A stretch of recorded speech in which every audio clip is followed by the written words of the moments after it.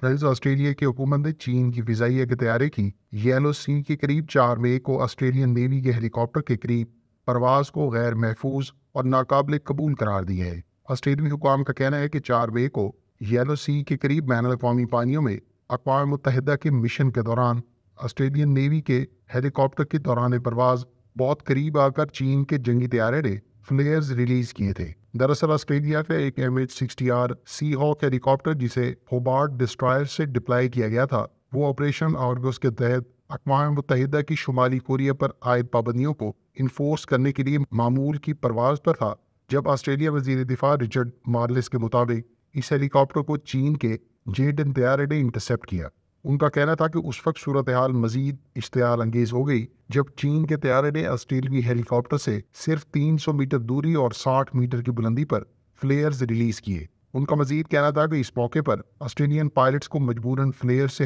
ہیلی copter کو بچانے کے لیے بچاؤ کے لیے ایکشن لینا پڑے۔ خوش قسمتی سے کسی قسم کا کوئی حادثہ یا انجری رپورٹ نہیں کی گئی اور ہیلی کاپٹر نے اپنا مشن جاری رکھا۔ ادھر آسٹریلیا کا وزیر دفاع نے اس واقعے کو سنجیدہ لینے اور اس پر چین کی حکومت کی طرف سے وضاحت طلب کی ہے۔ اس کے علاوہ انہوں نے دونوں وفاد کے درمیان پیشہ ورانہ اور محفوظ انٹریکشن کی توقع پر بھی زور دیا ہے۔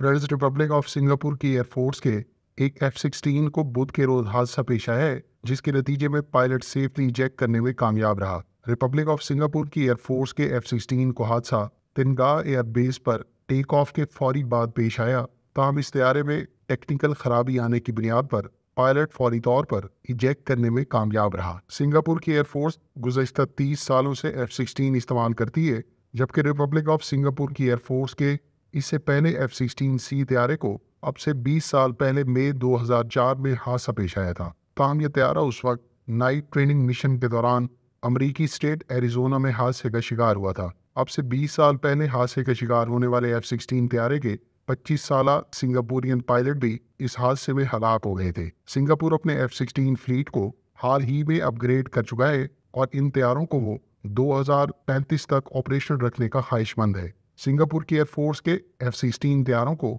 ایکٹیو الیکٹرانکلی اسکینڈ ریڈار اور گراؤنڈ اٹیک کیپیبلٹی کے علاوہ دیگر سسٹمز کے حوالے سے اپ گریڈ کیا گیا ہے، جبکہ سنگاپور لاکڈ مارٹن کے F thirty five stealth aircraft تیاروں سے اپنے ایف سکسٹین تیاروں کو ریپلیس کرے گا۔ سنگاپور پہلے ہی اس سال فروری میں آٹھ F thirty five A fighter aircraft acquire کرنے کا اعلان کر چکا ہے، جبکہ اس سے پہلے اس نے بارہ ایف تھرٹی فائیو بی تیارے بھی امریکہ سے آرڈر کر رکھے ہیں۔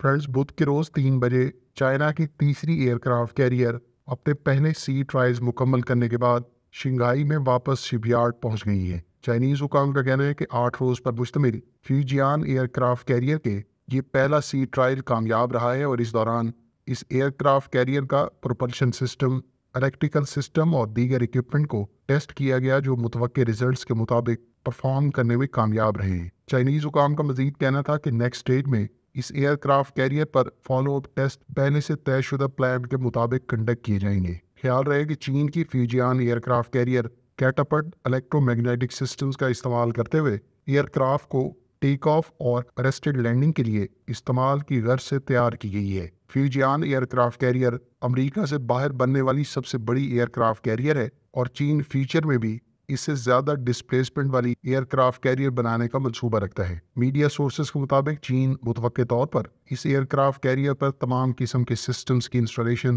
اور ٹیسٹنگ کے بعد دو ہزار پچیس میں اس ایئر کرافٹ کیریئر کو اپنی نیوی کے فلیٹ میں باقاعدہ شامل کر دے گا۔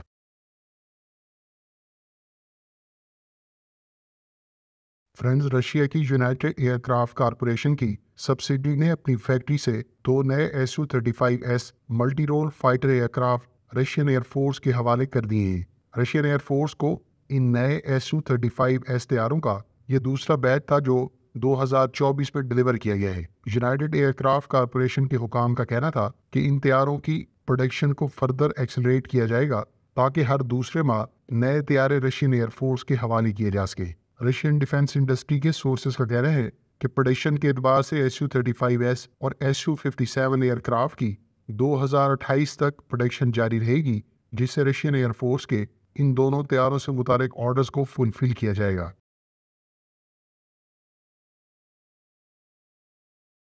فرینڈز ترک کمپنی بیکر نے ایسل سان اور راکٹ سان کے ساتھ مل کر اکنجی ڈرون سے نیول موونگ ٹارگٹس کو کامیابی سے ہٹ کرنے کا مظاہرہ کیا ہے۔ گو کہ اکنجی ڈرون پہلے ہی dedicated anti ship cruise missile Cakir کو کامیابی سے ٹیسٹ فائر کر چکا ہے۔ تاہم، یہ دوسری مرتبہ ہے کہ اکنجی ڈرون سے ایئر ٹو گراؤنڈ مینیشن سے نیول ٹارگٹس کو نشانہ بنایا گیا ہے حالیہ ٹیسٹ میں S L FLIR 500 electro optical system کا استعمال کرتے ہوئے بیکر کے اکنجی ڈرون نے تیس ہزار فیٹ کی بلندی پر پرواز کرتے ہوئے ایم ایم ٹی کے ساتھ سمندر میں موجود فکس ٹارگٹ کو کامیابی سے نشانہ بنایا۔ جبکہ ایک اور ٹیسٹ میں موونگ ٹارگٹ کو راکٹسان کے M M L micro munition کے ساتھ کامیابی سے ہٹ کیا گیا۔ خیال رہے کہ ترک ساختہ کنجی ڈرون سے اس قسم کی صلاحیت کا کامیاب مظاہرہ اس ڈرون کے یوزرز کو آپریشنل فلیکسیبلٹی فراہم کرتا ہے، جہاں ایئر ٹو گراؤنڈ مینیشنز کو کامیابی سے سی ٹارگٹس کو انگیج کرنے کے لیے بوقت ضرورت استعمال کیا جا سکتا ہے۔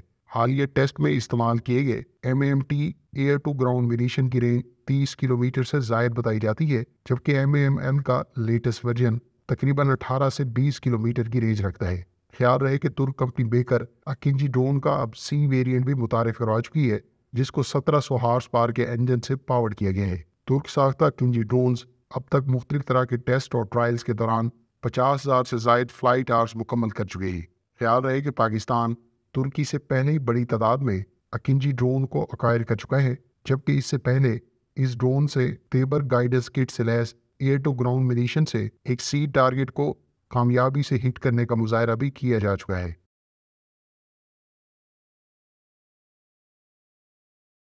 فرینڈ ساؤتھ کوریا اور انڈونیشیا کے under development K F twenty one fighter aircraft سے بہت جلد ایم بی ڈی اے کے تیار کردہ Meteor beyond visual range air to air missile کو ٹیسٹ فائر کیا جائے گا۔ خیال رہے کہ K F twenty one four point five generation fighter aircraft پر بہت سے یورپین ساختہ میزائلز کا استعمال کیا جانا ہے، جس میں Meteor air to air missile اور I R I S D کا انتخاب پہلے ہی کیا جا چکا ہے۔ کے ایف ٹوینٹی ون سے اب سے کچھ عرصہ پہلے short range air to air missile کو پہلے ہی کامیابی سے ٹیسٹ فائر کیا جا چکا ہے۔ تاہم، یہ پہلی مرتبہ ہوگا کہ European company M B D A کے تیار کردہ Meteor air to air missile کو کے ایف ٹوینٹی ون سے ٹیسٹ فائر کیا جائے گا۔ ساؤتھ کوریا اس فائٹر ایئر کرافٹ کے لیے مقامی ویپنز بھی اس طیارے پر استعمال کرنے کا منصوبہ رکھتا ہے، جس پہ کروز میزائل اور ایئر ٹو گراؤنڈ منیشنز قابل ذکر ہے۔